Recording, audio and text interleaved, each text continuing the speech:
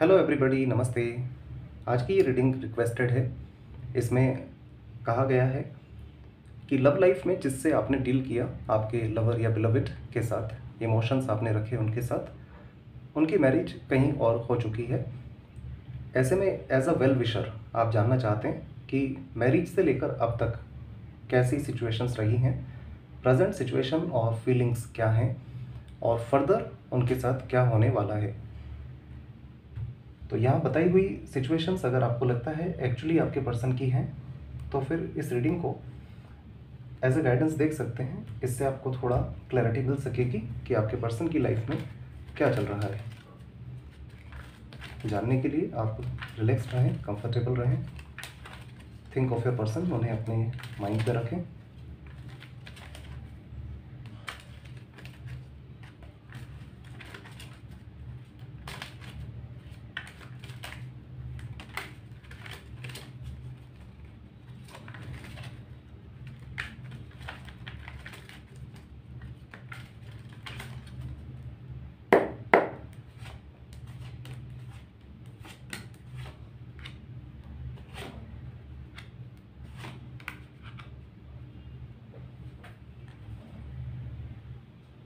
Bottom of the deck में four of swords है। इसका मतलब है कि कुछ पेनफुल सिचुएशन तो आपके पर्सन की लाइफ में रही है।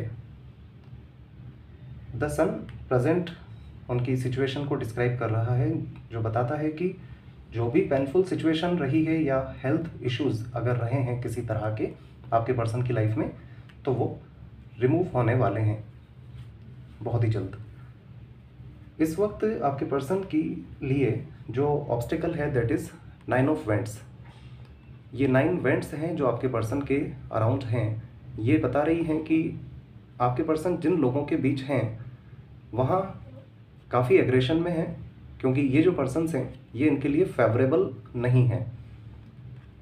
तो ये एज एन ऑब्स्टिकल आया है आपके पर्सन के लिए। ये आपके पर्सन का सबकॉन्शियस माइंड है नाइट ऑफ़ पेंटिकल्स जो कि उनके पास्ट को शो कर रहा है। पास्ट में किसी वजह से कुछ डार्कनेस आपके पर्सन की लव लाइफ में रही है। बैकग्राउंड येलो है, चीज़ें ठीक थी बट किसी तरह से कुछ नेगेटिविटीज़ आ गई थी रिलेशनशिप में आपके पर्सन की। तो इनके सबकॉन्शियस माइंड में इनका पास्ट अब तक है। Three of wands four of wands तो जिस वक्त मैरिज हुई थी दिस वॉज़ गुड ये ठीक है। क्योंकि थ्री ऑफ़ वेंट्स दिखाता है राइट टाइम को। मैरिज होना जो था इस पर्सन का, वो एक राइट टाइम पर ही हुई है इनकी लाइफ में। दोनों वेंट्स की एनर्जी है और दोनों बहुत पॉजिटिव कार्ड हैं। बट थ्री ऑफ़ वेंट्स साथ साथ ये भी दिखाता है कि एक वेंट को आपके पर्सन ने होल्ड किया और टू वेंट्स एक आप और एक आप के पर्सन खुद पर ध्यान नहीं दिया और डिसीज़न लिया मैरिज का। सिचुएशंस मीन क्या रही हैं? King of cups seven of swords के साथ आया है। तो किंग ऑफ़ कप्स बताते हैं कि जो आपके पर्सन ने इमेजिन किया था लव लाइफ को लेकर के इमोशंस को लेकर के सेवन ऑफ़ सॉर्ट्स बताता है, वैसा तो बिल्कुल भी नहीं हुआ है। इमोशनल सेटिस्फेक्शन तो नहीं रहा है। इसी वजह से आपके पर्सन के माइंड में उनका पास्ट है। बट वो ऐसे पर्सन से घिरे हुए हैं कि कोई डिसीज़न नहीं लेना चाहते नहीं ले सकते हैं। द सन कार्ड उनकी पर्सनैलिटी हो सकती है, आपके पर्सन काफ़ी पॉजिटिव पर्सन हो सकते हैं। साथ साथ सन प्रेजेंट है तो गुड न्यूज़ भी है। अगर किसी तरह के हेल्थ इश्यूज़ उन्हें हैं तो वो भी रिमूव होंगे। नाउ स्टार्टिंग फ्रॉम हेयर हम फाइव कार्ड्स लेंगे, जो आपके पर्सन की present immediate future long future और डिस्टेंट फ्यूचर को बताएँगे। साथ साथ एक कार्ड है जो उनके लिए, उनकी लाइफ में जो भी अनएक्सपेक्टेड है, उसे बताएगा।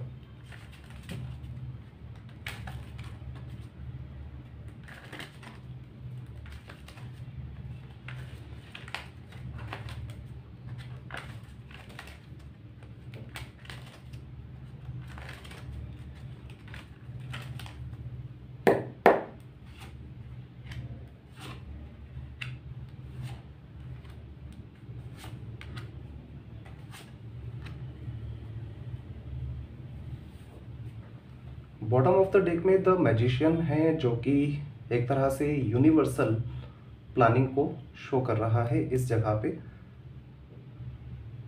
प्रेजेंट ठीक नहीं है। आपके पर्सन इस वक्त कंप्लीटली टाइट अप हैं, बंधे हुए हैं। इमीडिएट फ्यूचर भी उनका नाइन ऑफ़ सॉर्ट्स है, जो बता रहा है कि किसी तरह की एंजाइटी अभी चलने वाली है कुछ समय और।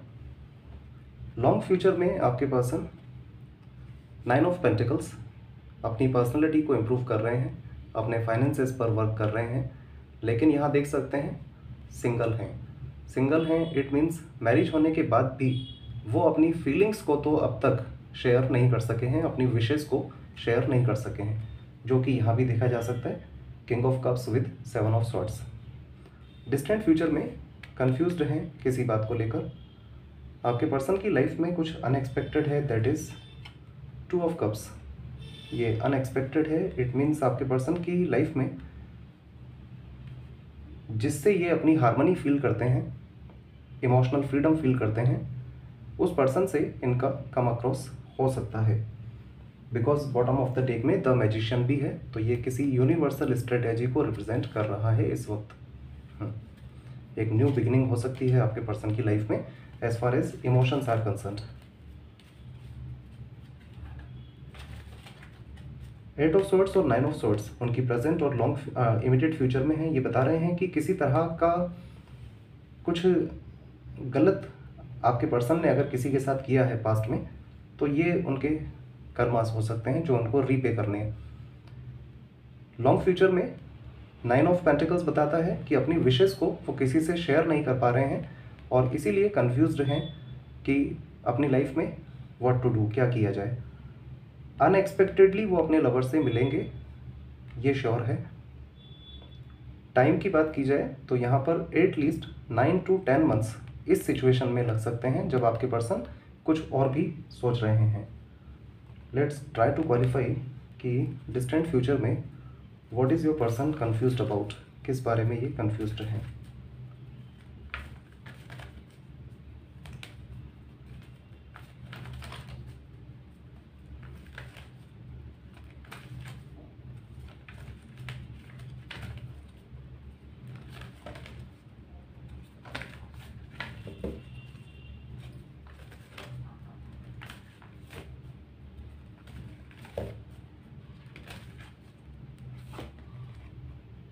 Second chakra archangel Ariel आई हैं क्वालिफिकेशन में with all tight up archangel Ariel creativity को शो करती हैं। All tight up third party situation को बताता है। तो जो भी थर्ड पार्टी सिचुएशन है, जिस वजह से आपके पर्सन टाइड अप हैं, फ़िलहाल भी टाइट अप हैं तो उसे रिमूव करने के लिए कुछ प्लान कर सकते हैं। नंबर थर्टी सिक्स इंपॉर्टेंट है। और उसके बाद कुछ एक्शन अपनी लाइफ में ले सकते हैं। So this is all going on ये सब चल रहा है आपके पर्सन की लाइफ में इवन इन फ्यूचर आप एक क्वेश्चन कर सकते हैं अपना एंजल्स के गाइडेंस के लिए एंजल्स के आंसर के लिए, या इसे प्रडिक्शन भी कह सकते हैं एंजल्स का।